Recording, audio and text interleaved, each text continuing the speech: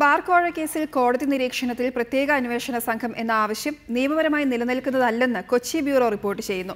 സർക്കാർ ഉത്തരവിന്റെ അടിസ്ഥാനത്തിൽ ഇത്തരത്തിലൊരു അന്വേഷണം സാധ്യമല്ല. അന്വേഷണത്തിന് കോടതി മേൽനോട്ടം വഹിക്കണമെങ്കിൽ അതിന് കോടതിയുടെ തന്നെ ഉത്തരവുണ്ടാകണം. അതേസമയം സി ബി ഐ അന്വേഷണം ആവശ്യപ്പെട്ട് ആം ആദ്മി പാർട്ടി നേതാവ് സാറ ജോസഫ് ഹൈക്കോടതിയിൽ ഹർജി നൽകി. കോഴ വിവാദം അന്വേഷിക്കാൻ പ്രത്യേക അന്വേഷണ സംഘം അതും കോടതിയുടെ മേൽനോട്ടത്തിൽ. ഇതാണ് സി മുന്നോട്ട് വയ്ക്കുന്നത്.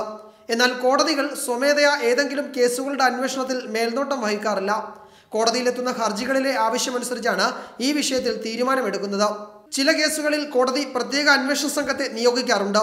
അന്വേഷണ റിപ്പോർട്ട് വിളിച്ചു വരുത്തുകയും ചെയ്യും. എന്നാൽ അത് ഹർജിക്കാരുടെ ആവശ്യം പരിഗണിച്ചാണ്. ഐസ്ക്രീം പാർലർ കേസിൽ വി എസിന്റെ ഹർജി പരിഗണിച്ച് കോടതി പ്രത്യേക അന്വേഷണ സംഘത്തിന്റെ അന്വേഷണത്തിന് മേൽനോട്ടം വഹിക്കുകയും റിപ്പോർട്ട് പരിശോധിക്കുകയും ചെയ്തിരുന്നു. മജിസ്ട്രേറ്റ് കോടതികൾ സാധാരണ നിലയിൽ അഴിമതി കേസുകളുടെ അന്വേഷണത്തിൽ മേൽനോട്ടം വഹിക്കാറില്ല. സുപ്രീം കോടതിയും ഹൈക്കോടതികളുമാണ് അന്വേഷണത്തിന് മേൽനോട്ട ചുമതല വഹിക്കാൻ അധികാരമുള്ള നീതിന്യായ സ്ഥാപനങ്ങൾ.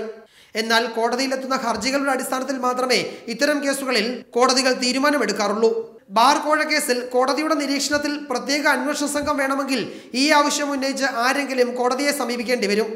അല്ലാതെ സർക്കാർ ഉത്തരവിന്റെ അടിസ്ഥാനത്തിൽ കോടതി മേൽനോട്ടത്തിൽ അന്വേഷണം നടക്കില്ല. അതേസമയം കോഴക്കേസ് സി ബി അന്വേഷിക്കണമെന്നാവശ്യപ്പെട്ട് ആം ആദ്മി പാർട്ടി കേരള ഘടകം കൺവീനർ സാറ ജോസഫ് ഹൈക്കോടതിയെ സമീപിച്ചു. കേസിൽ ഉന്നതർ ഉൾപ്പെട്ടതിനാൽ കേന്ദ്ര ഏജൻസി വേണമെന്നാണ് സാറ ജോസഫിന്റെ ആവശ്യം. C B I FIR register ചെയ്ത് കേസന്വേഷണം ഏറ്റെടുക്കണമെന്നും ഹർജിയിൽ ആവശ്യപ്പെട്ടിട്ടുണ്ട്. S Vijayakumar reporter Kochi.